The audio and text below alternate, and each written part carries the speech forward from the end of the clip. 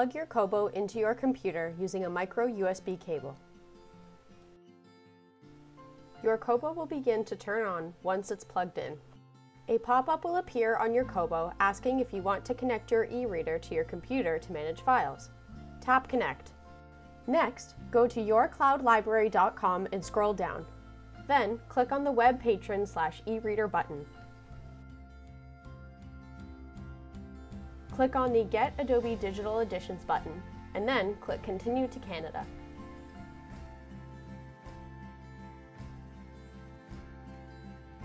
Next, download the software for the operating system you are running. In my case, I am running a Windows computer, so I chose Windows. Once the download is complete, click on it at the bottom of your screen. Check the box to agree to the license agreement, and then click Next, then Next again, and then Install. Once the installation is complete, click Close. Go back to yourcloudlibrary.com and find our library. Choose Canada as your country, Ontario as your province, and Niagara-on-the-Lake Public Library as your library. Next, click the Login button at the top right of the screen and enter your library card number and PIN. Please note that your PIN is the last four digits of your phone number. Click Login and then Accept. Now navigate to My Books at the top left of the screen and click the text that says Download for Offline Reading, which is located underneath the return button for your book. The book will be downloaded to your computer. Open Adobe Digital Editions and click File at the top left of the screen, then Add to Library. Go to your Downloads folder and select the book you just downloaded.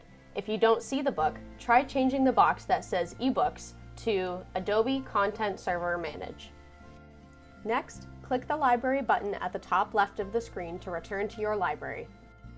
Make sure your Kobo device shows up under Devices on the left. If it doesn't, close Digital Editions and reopen it. Then it should appear. Click and drag the new book onto your Kobo. You can verify that it's on there by clicking on your Kobo device. Close Digital Editions. Eject your Kobo before unplugging it by going to the bottom of your screen click the up arrow, then the USB icon, and then eject e-reader. Once you get the prompt saying it is safe to remove your device, unplug your Kobo from your computer. Your Kobo will now say importing content, and once it is finished, you can access your books.